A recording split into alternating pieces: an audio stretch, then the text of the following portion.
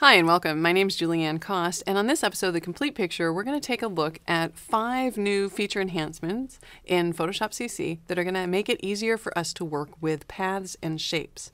So let's take a look at the first one. Now, this will help us work with paths and shapes plus any other kind of layers, and it's called isolation mode. So let's say, for example, that we wanted to select not only the background layer, but then all of these rectangles right here. So I'm going to go ahead and I'm going to hold down the Command key with the Move tool, and that's going to give me this first layer. But then I'm actually going to use the Layers panel to select all of these different rectangles. So here is the first one that I want selected, so I'll hold down the Command key and select that.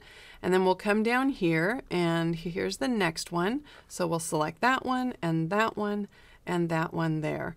So as you can see, sometimes it takes quite a while to select layers and you might have a lot of layers in your layers panel. And there might be times where just to clarify things, you might want to only view those layers. Well, we have this new mode under the Select menu called Isolate Layers or Isolation Mode.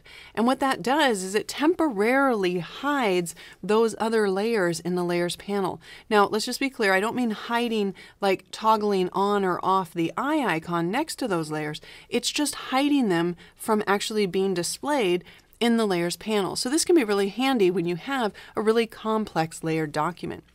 Now to toggle that off, you can see right here there's a little toggle in my Layers panel, so we can simply toggle it that way.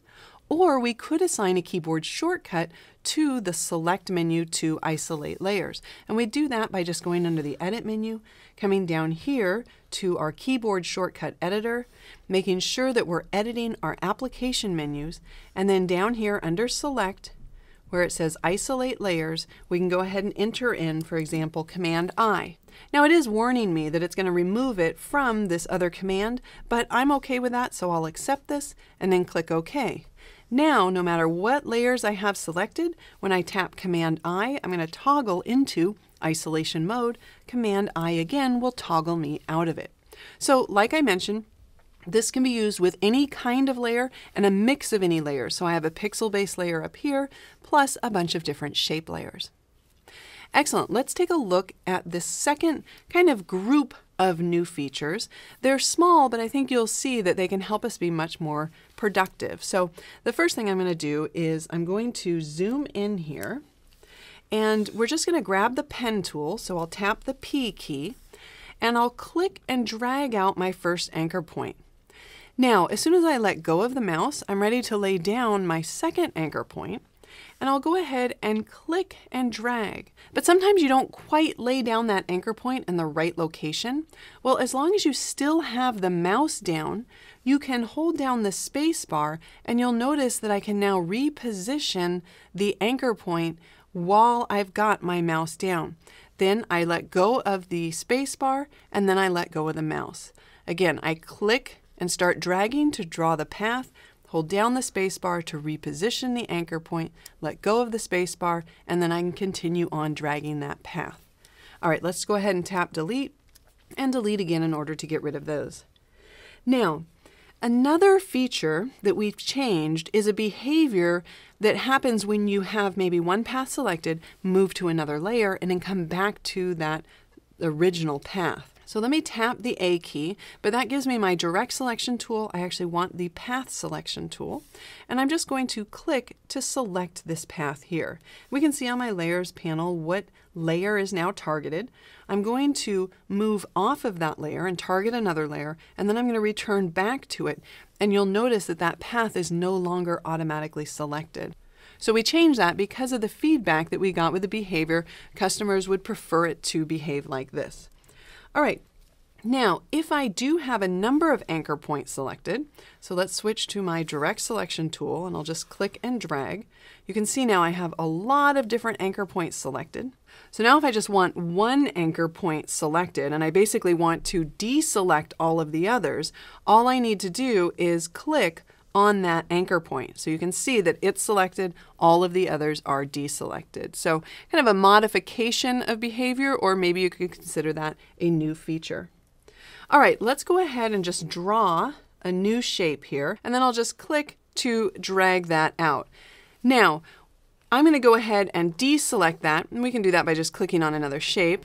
And then I'm going to tap the A key to select my direct selection tool again.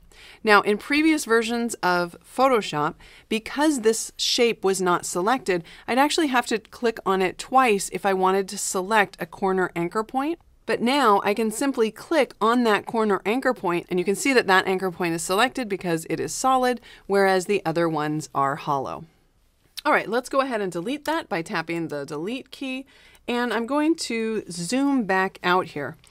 Now, this next feature was added in Photoshop CC, and it was the ability to actually click and drag to select multiple paths, even if those paths were on different layers. And you can see all of those layers have now been selected in my layers panel. But sometimes we want kind of a more subsection of layers to choose from. So what I'm going to do is I'm going to click on this top layer here, and then I'll hold down my shift key and I'll go ahead and click on the bottom layer. So now all of these small circles are targeted in my layers panel. They're not necessarily selected, but they're targeted here in my layers panel. Now, at this point, you might have an illustration or an image where you want to isolate your selections of paths to only be paths on these layers. So you'll notice here that with my direct selection tool, I have the option to either select all layers or just the active layers. So once I've made a selection of layers in my layers panel, I can change this or flip this to just the active layers. Now I can deselect here so that none of the paths are selected in my image, but those layers are still targeted. So now it makes it much easier for me to click and drag select over an area in my image even though there's paths on other layers, because those other layers weren't selected, I cannot select the paths on those layers. So this toggle here between all layers and active layers, you can actually assign a keyboard shortcut for that as well. And let me just point out where that is because it's not under your application menus. Instead, it's under tools. And it's all the way down here at the bottom. You'll notice that we can add a shortcut. But you can't use more than one character. So I can't use, for example, a keyboard modifier and the H key or anything. I can only use a single character. So there's two characters or two letters that aren't being used by default. That's the N key and the K key. So you might want to try one of those. So I'll assign K, click OK. And now when I tap the K key, we can see up here in the upper left how I'm toggling between selecting or drag selecting between all layers and just the active layer. All right, I'm going to tap that one more time so that I go back to my all layers and we're going to switch over to this image right here. Now, if you draw a lot of paths or use the shape tools or the pen tool, you know that we can combine shapes together in a variety of different ways. All right, well, I want to select these top three circles, so I'll grab my path selection tool and drag over them. And now I want to use the combine menu. So you'll notice right now by default, it's just combining the shapes. I could also choose to subtract from shapes. I could go to intersecting shapes, or we can exclude the overlapping shapes. So that's really great that I can pull all of those from the menu. And in fact, there used to be keyboard shortcuts that we could use in order to change these, but they were limited to just the first two. So for example, if I tap the plus key, it would go ahead and combine those shapes. If I use the minus key, it would subtract. And now in Photoshop CC, if I use the divide key, then we actually get the results of the intersection. And if I use the multiply key, you can see that it's changed here to exclude. Now, the one caveat here is that the new keyboard shortcuts, they actually are wired to an extended keyboard. So in order to get the multiply key, you're not actually able to use the option plus the 8 key or the alt key plus the 8 key. Instead, you actually have to have an extended keyboard that has that little multiply. It's not an asterisk. So again, as we can see, if I just drag over here, we can see this shape, and we can see how these shapes combine quickly by just using the plus, the minus, the divided by, and the multiply. And the last feature that I want to talk about has to do with the live shape properties. Now, I know this has been discussed in a lot of tutorials, and I've actually already talked about live shapes, so that's not really what I'm going to present here, but I do need to draw a live shape in order to show you this kind of refinement made to this feature. So when I click and drag out a live shape, my properties panel always pops open. So even if I don't want to make any changes to this, if I close my properties panel and then I click and drag out another live shape, the properties panel is going to fly open, which if you didn't know in Photoshop CC about live shape properties, this is great because it's presenting to you right here, oh look, you can go ahead and change the corner radius of that shape.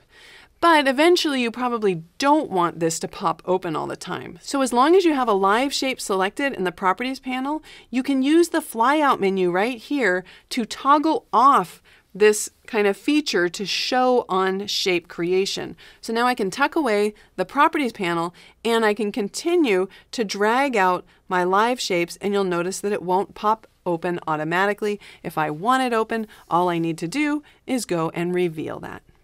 Excellent. That wraps up all of the changes that have been made to the shape tools as well as vector tools, including the isolation mode. My name is Julieanne Kost. Thanks for joining me.